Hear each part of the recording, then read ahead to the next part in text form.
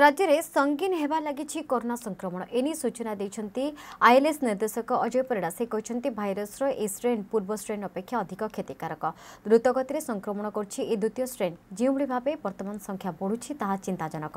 ଆଗକୁ କ'ଣ ହେବ କିଛି କହିହେବନି କେବେ କମିବ ତାହା ମଧ୍ୟ ଅନୁମାନ କରିହେଉନି ଆମେ ଭାଇରସ୍ ଏ ନୂଆ ଷ୍ଟ୍ରେନ୍ ଉପରେ ପରୀକ୍ଷା ନିରୀକ୍ଷା ଚଳାଇଛୁ ଲୋକମାନେ ସଚେତନ ହେବା ନିହାତି ଦରକାର ଯଦି ଲୋକମାନେ ପରିସ୍ଥିତି ବହୁତ ଭୟଙ୍କର ହେବ ଲୋକେ ଯଦି ସଚେତନ ନୁହନ୍ତି ପରିସ୍ଥିତି ବହୁତ ଭୟଙ୍କର ହେବ ଓଡ଼ିଶାରେ ଛତିଶଗଡ଼ ପରିସ୍ଥିତି ପରିସ୍ଥିତି ସୃଷ୍ଟି ହେବା ଅସମ୍ଭବ ନୁହେଁ ପରିସ୍ଥିତିକୁ ଦେଖି ରାଜ୍ୟ ସରକାର ନିଷ୍ପତ୍ତି ନେଉଛନ୍ତି ଆଗକୁ ବି କିଛି ବଡ଼ ନିଷ୍ପତ୍ତି ନେଇପାରନ୍ତି ସରକାର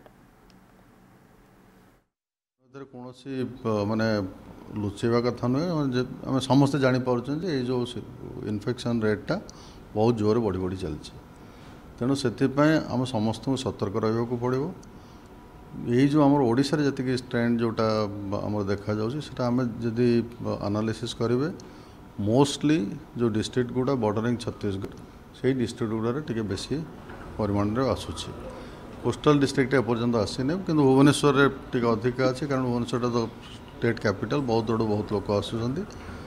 କିନ୍ତୁ ତଥାପି ଦ୍ୟାଟ୍ ଦ୍ୟାଟ୍ ମିନ୍ସ ସେଟା ପ୍ରୁଭ୍ ହେଉଛି ଯେ ଲୋକଙ୍କ ମାନେ man to man or human to human ଇନଫେକ୍ସନ୍ଟା spread ହେଇ ଚାଲିଛି ତେଣୁ ସେଇଟାକୁ ଆମକୁ ଯଥାରୀତି ଚେଷ୍ଟା କରିବାକୁ ପଡ଼ିବ ସେଟାକୁ କେମିତି ଆମେ ବନ୍ଦ କରିବା